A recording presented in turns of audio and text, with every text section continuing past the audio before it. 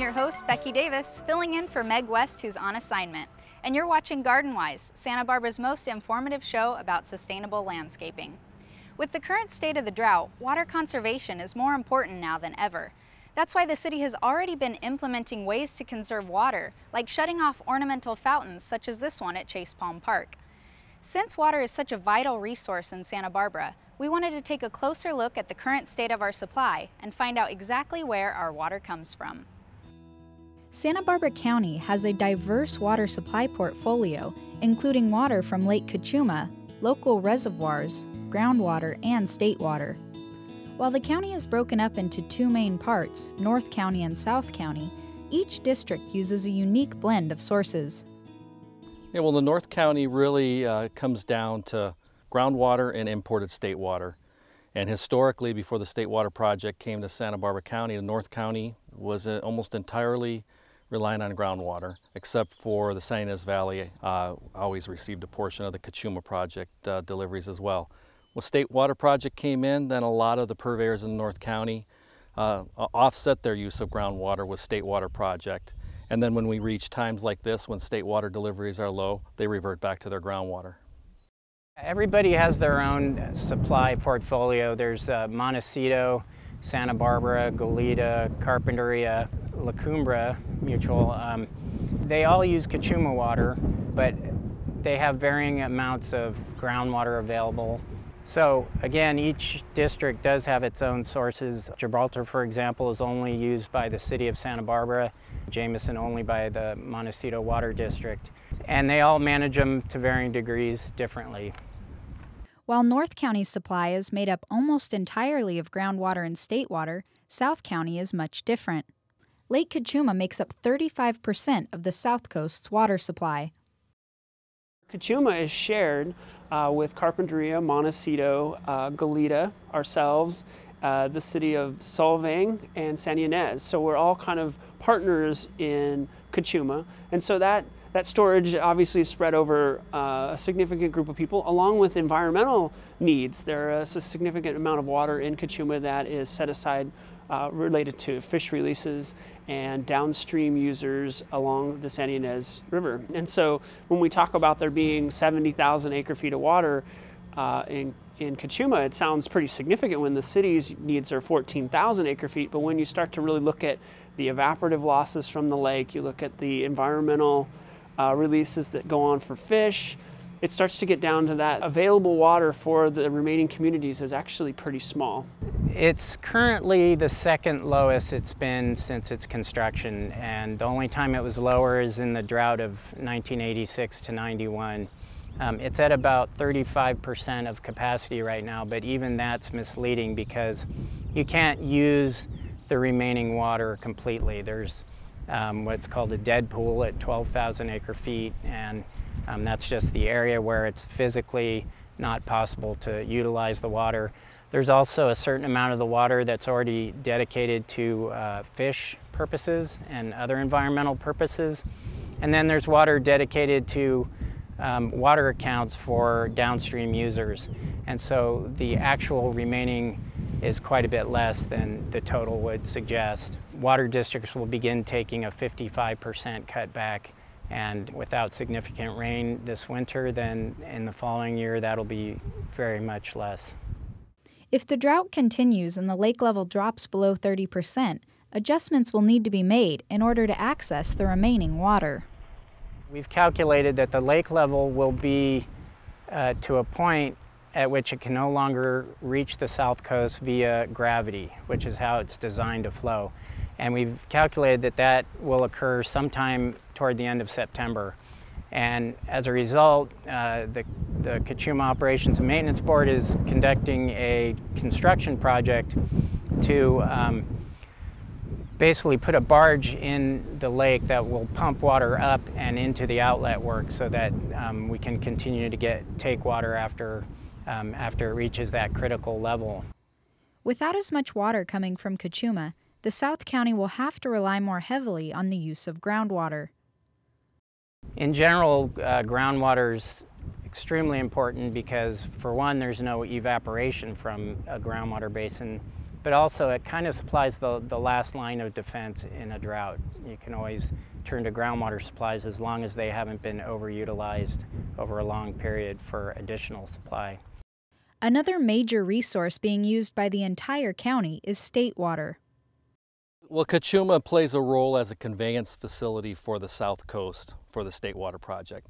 The North County purveyors that do get state water uh, take that water as the pipeline makes its way down from Northern California and through San Luis Obispo, enters the county at Santa Maria. Santa Maria and Guadalupe each take water off the pipe, goes down Vandenberg Air Force Base, gets a lot of water from the State Water Project, and then onward to uh, the cities of Buellton, Solvang, and then San Ynez Improvement District 1.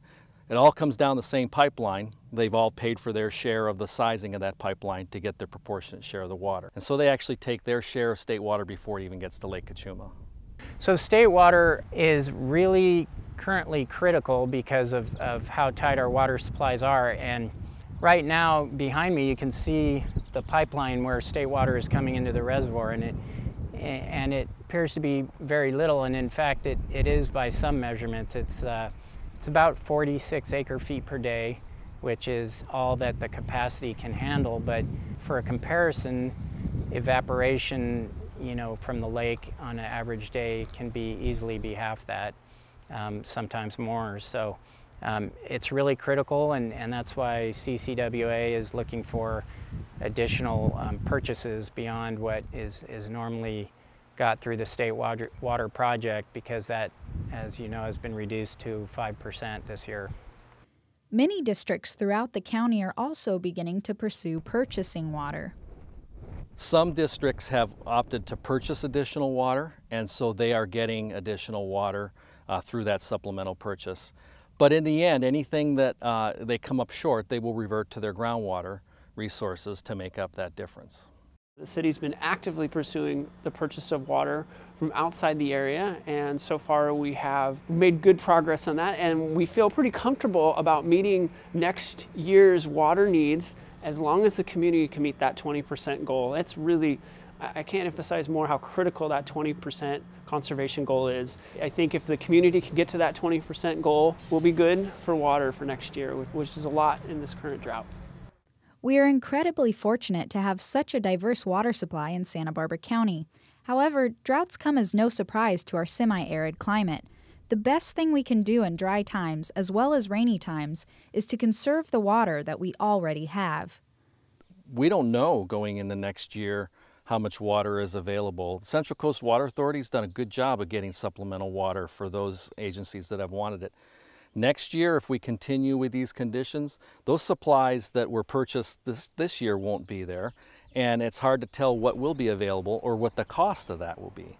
So it's, it's very possible that additional sources would have to be brought in. Uh, but if they're not available, then conservation and the use of our groundwater basins is really the answer for the North County until things start to recover. Droughts are a normal part of, of living in the Central Coast, and we've had severe droughts before. However, this um, current drought is probably the most severe when looked at in terms of the last three years. There was 60% uh, um, of, of normal rainfall, then 40, and then I think close to 30%. So it's been extremely dry and um, supplies have dropped off very quickly. And so conservation right now is, is extremely important for all parts of the county, but certainly on the south coast, everyone's looking uh, to people to conserve water on their landscapes and, and in their houses as, as a critical part of getting through this period until we get some substantial rainfall. I think it's really important to recognize that as a county, we're all on, for the most part, the same straw the State Water Project coming down from Northern California, we're, we're utilizing the same supplies. Cachuma Lake for the South Coast and the San Valley, the same supply. So to conserve those supplies will help us in the future. To find out more about where your water comes from, visit waterwisesb.org/education. Now that we know where this valuable resource comes from, it's time to find out how we can conserve more of it in our landscapes. Stay tuned as water expert Kathy Perret shows us how to use a watering calculator. Hi, I'm Kathy Perret with the City of Santa Barbara's Water Conservation Program. Today I'm going to show you how to use the online landscape watering calculator.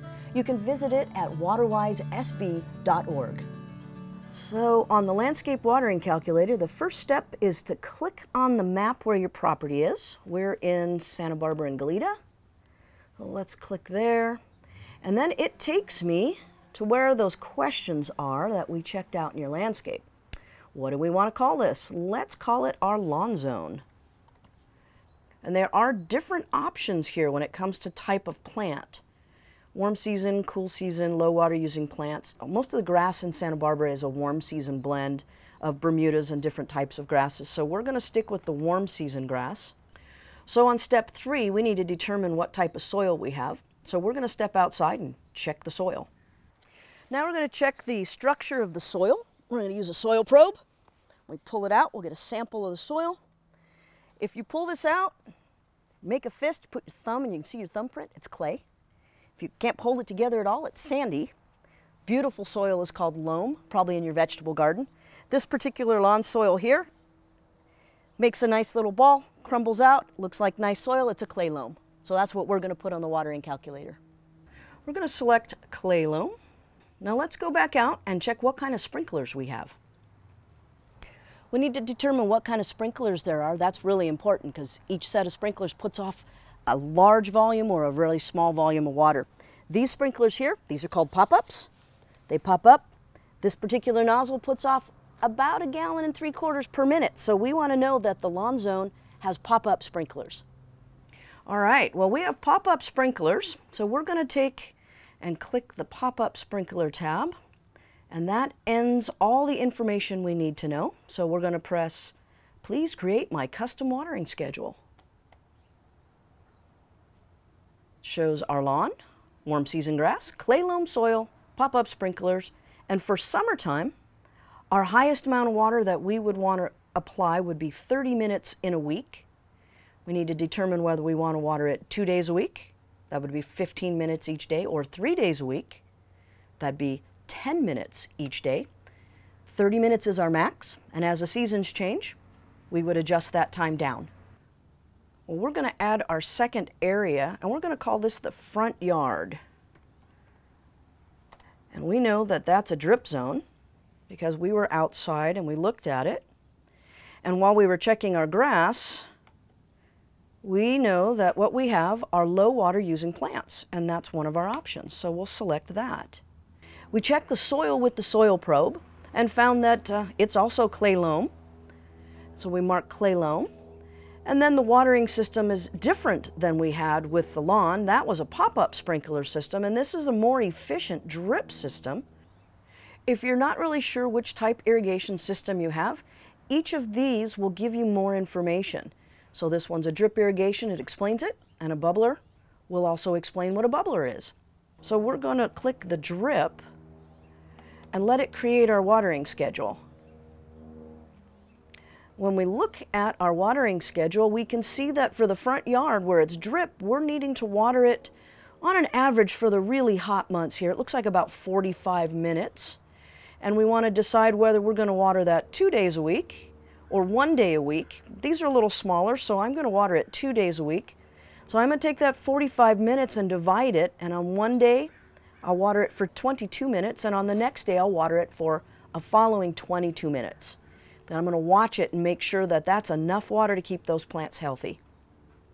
Now that we've got all the information about the landscape, we know the kind of sprinklers, the kind of plants, the kind of soil, we put it into the watering calculator, it gave us value for our lawn zone, which is program or station number one of 30 minutes for our 100% or summertime watering. We don't want to apply it all at once, so we're going to go with splitting it up three times per week. So if it's 30 minutes for the week, we're going to schedule our number one station or zone for 10 minutes. You go to the station, you hit the adjust, set this for 10 minutes, and then every week, three times a week on the days that we've scheduled, it will water for only 10 minutes. So now we know we've got our 10 minutes. Let's make sure of our days. We have Monday is on, Tuesday is off, Wednesday is on, Thursday's off, Friday's on, Saturday and Sunday are both off. And it comes on before 8 o'clock in the morning. We'll put it back up to auto and it's good to go. What I'm going to do after all this gets inputted, I'm going to watch it. I'm to watch my landscape for the next couple of weeks. If the lawn zone is looking really lush and green, well then I'm giving it too much water and maybe my system is just really efficient. If we come back out and the system, everything's getting really dry, we might want to increase for one minute. Each minute on a lawn zone runs 10 gallons to 12 gallons per minute. So every minute you adjust is really fine tuning your system.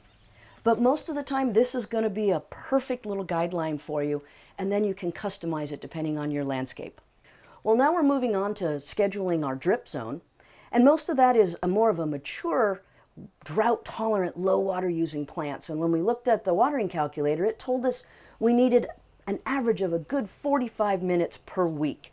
There was a high month in there, but you need to adjust that according to what your local weather is. So we're going with 45 minutes in the week. Unlike lawn, shrubs have much deeper roots and can be watered less frequently.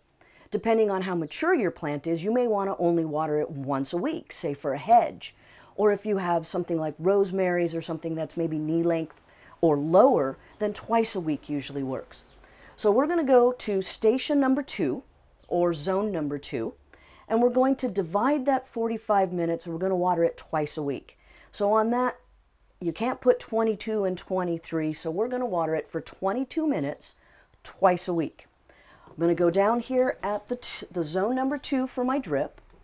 Just like on the other one, we'll hit the adjust button and you can hold it down so it goes a little faster and we'll take it all the way up to 22 minutes. Put it back up on the top here so that it's at the auto and then we'll check and schedule what days we want this one to run.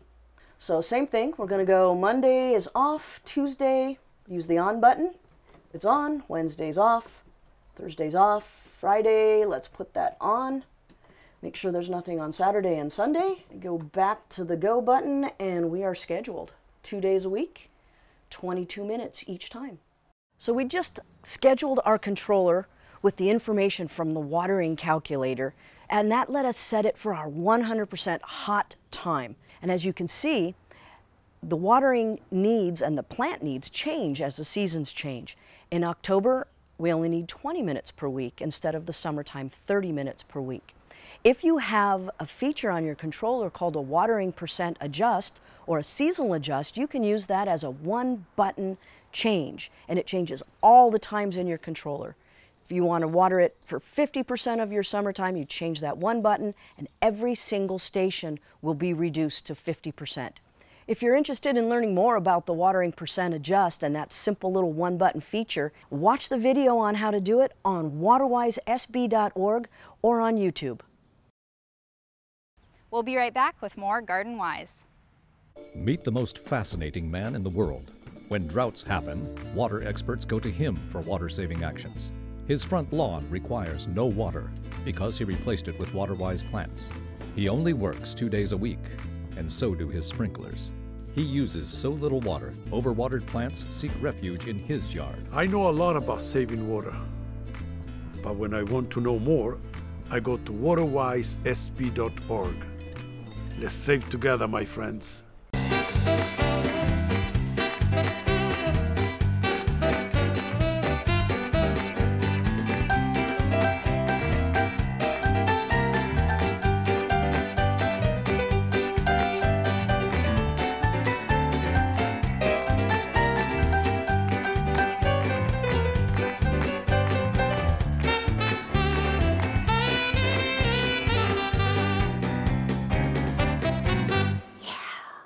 Welcome back. Much like water, trees are a valuable resource in our community, improving air quality and beautifying our county.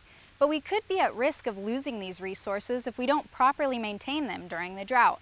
Up next, arborist Karen Chrisman shows us how to properly care for our trees during dry times. Hi, I'm Karen Chrisman, and I'm a certified arborist with Arbor Services Incorporated. Today I'm here to talk to you about taking care of your landscape trees during a drought. So getting started, the most number one step is to find out what species your tree is and what you're dealing with so you can better plan its water needs. So number one, do you have a water-loving magnolia or do you have a native oak that needs little summer water? These are all important questions to ask. Now, if you don't know what species your trees are, you're not alone in our community. We have a diverse population of trees in Santa Barbara. Um, the number one way to find out could be the internet. There's a great book called The Trees of Santa Barbara. Number two, ask your nursery. Or number three, call an arborist. So now you've figured out what kind of tree you have and its watering needs. So what we have to look at is, again, if it's a low water tree, maybe mulch is all you need. If it's a high water demand tree, maybe it's mulch and a low volume irrigation system. One of the most important things to learn before you properly irrigate your trees during a drought is to understand how a tree's root system works and its water needs. So a tree's root system always extends to the drip line, and drip line in arboriculture is basically the edge of the canopy and sometimes beyond, depending on how far the roots move. So when you're irrigating, we want to put the water where the roots are. So with your drip irrigation, we want to irrigate that entire area, not just at the base of the tree. And that it also applies to when applying mulch. We want to apply mulch to the root zone, which again extends to the drip line and beyond. Now in drought conditions, water is precious and it's a resource that we don't want to waste. By properly water and properly mulching, we're number one, conserving water, and number two, we're keeping the water where it needs to be in the tree's, tree's root system. So when you're working with a young tree um, in a drought tolerant program, what we want to make sure is we remember its root system probably extends to about here and maybe a little beyond. This is where we want to get our irrigation water. Out here it's just going to be wasted. Um, number two is a mulch application should be even and probably no more than four inches thick of organic matter. What you don't want to do is allow the mulch to build up at the base of the tree in the area we call the root crown. What we're trying to do is prevent it from decaying. So you want a little bit of space to give that area some room. Otherwise, this is a successfully mulched tree.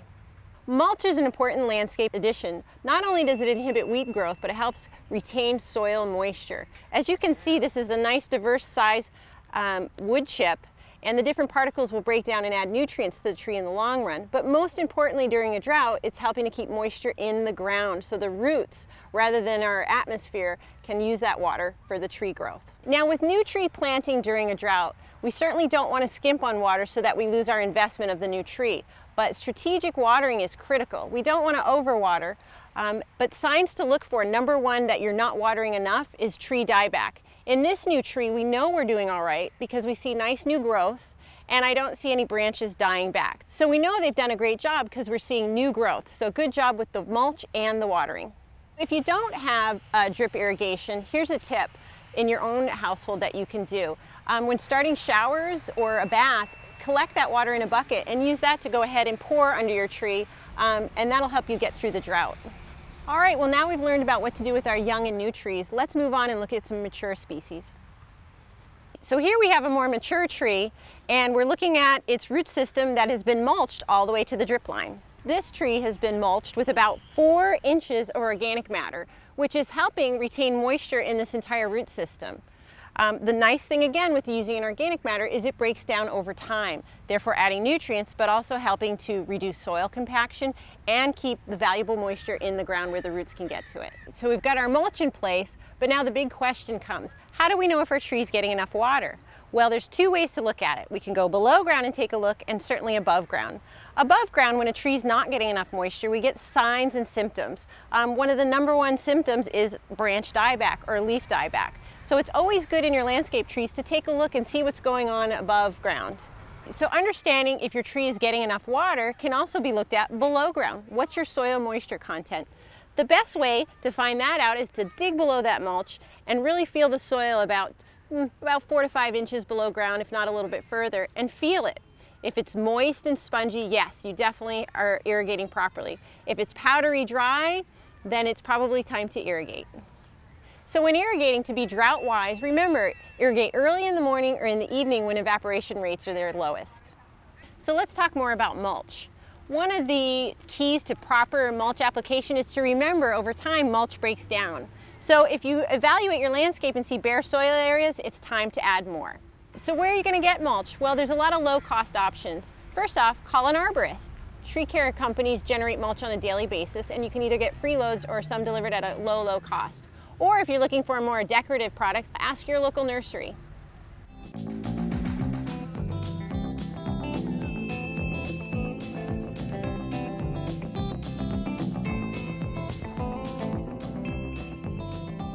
Another thing to think about is this isn't our first drought in Santa Barbara and it certainly won't be our last. So when investing in new trees for your property, be water wise and choose trees that are low water and adaptable to our climate. For more information on tree care, visit waterwisesb.org. One Santa Barbara business recently renovated their landscape to show that even small changes can go a long way to save water. There used to be just three plants out here. There was um, a chorus and a low mondo grass, and the big pencil tree behind me is still there. And we had these rocks that you still see, but they're now in a different position. We had many clients that would come by and they'd walk through our front garden and were completely uninspired and it actually became a joke with them about, you know, you want us to spend a lot of money, but look at the garden you guys have. So although it was functional, it was not attractive. It didn't say anything about our company. So now we wanted it to be both drought tolerant and aesthetically attractive and it has some elements in it which sort of are microcosms of what we do. I think the first impression is it's water conserving. We have the gravel and we have the succulents, but we also have some whimsy and it's sort of a contrast of the boxwood hedge is sort of a traditional element. It also works off some of the forest lines of the building. And then the pots are somewhat contemporary with the acacia Cousin Itt coming out. But the ultimate concept, I think, is water efficiency in this day and age. Before there were um, traditional pop-up sprinklers, and they just watered the whole front strip here. And now those have all been replaced with a subsurface drip. It's just laying directly on the soil underneath of our mulch beds. And they save a ton of water and we don't have water running off onto the sidewalk anymore. We used to have the sprinklers running two, three, four times a week. Now it's twice and it's on for just a couple of minutes. It's very efficient. They're plant materials that are readily available they reproduce themselves pretty easily. The aloes, the echeverias, the kalanchoes all send off pieces or branches that can be cut off and duplicated and replanted. So it's a great garden for people who, on a budget. Um, the gravel's inexpensive. We only have two irrigation drip lines, um, one for the hedge and the pots, which need a little bit more water, and then the rest are just for the succulents, and most of those we could probably abandon after about six months. This has always been sort of one of our mainstays as design, both from a water efficiency standpoint and from a aesthetic standpoint. I personally, and a lot of the landscape architects here, just love the succulent material because you get the color and the texture out of the plant itself. You could use it in mass, you can use them individually as sculptural pieces. They're perfectly adapted for our community. But what has been happening is some of our older clients with more lawn or more traditional landscapes with more water needing uh, plant material are coming back to us now and saying, you know, you need to revamp our gardens, we need to save water, and so we're getting a lot of business that way. Do you have a parkway or other area of landscape that could be more water wise? Consider replacing it with beautiful, drought tolerant plants. For ideas on transforming your landscape, visit waterwisesb.org. Up next, we have another horrifying crime to solve with landscape architect and author Billy Goodnick. The story you're about to see is true. The location of these plants has been changed to protect the innocent. This is the city, Santa Barbara, California. Some call it paradise, mountains and ocean views, classic architecture, and exotic gardens. But drive down any street in any neighborhood and you'll find them there, sometimes in broad daylight. People perpetrating pointlessly pitiful pruning on peaceful plants. My name is Billy Goodnick, and I run the Crimes Against Horticulture Division. Actually, there's no such thing, but wouldn't it be cool if there were? My mission is to help my community create beautiful, useful, sustainable landscapes.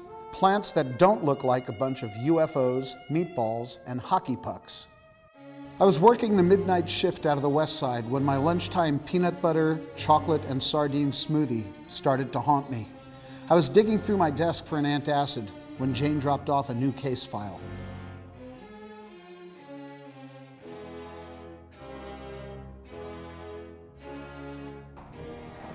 To keep up with advances in smartphone technology, law enforcement has enacted Plant Code 847, version 2.0.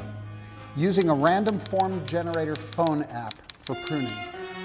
On the day of the crime, I'm guessing the screen said meatballs and Lego blocks. There's no other way to explain this.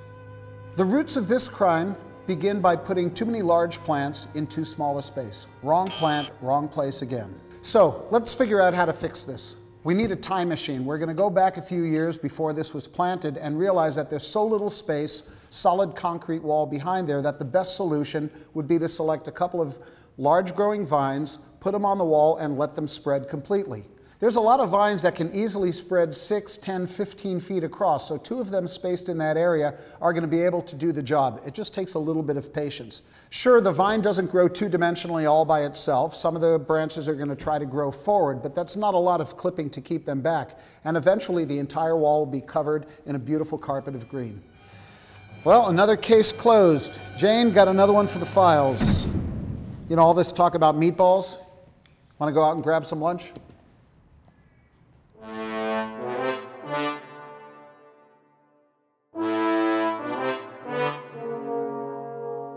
Well, that does it for this episode. Remember, you are the agent of change, and together we can conserve water and create beautiful gardens that provide habitat for birds, bees, and butterflies. There are lots of resources online to help. Visit waterwisesb.org for tips or to view past episodes. If you have questions or comments about the show, you can give us a call at 564 5311. I'm your host, Becky Davis, and keep it green, Santa Barbara.